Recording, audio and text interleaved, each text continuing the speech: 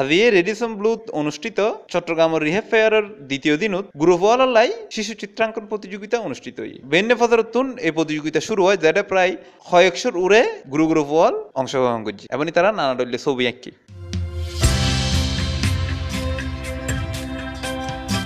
প্রতিযোগিতা শেষে দশজনের পুরস্কৃত ঘোষণা করা হয়।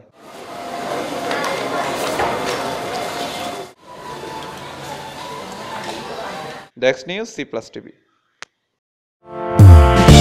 দর্শক আর এই ভিডিও কিনা অনুরোধ গম লাগি এই লাল সাবস্ক্রাইব বাটন কবরাই উঙ্গ সাবস্ক্রাইব এবং সি প্লাসের ফোন এই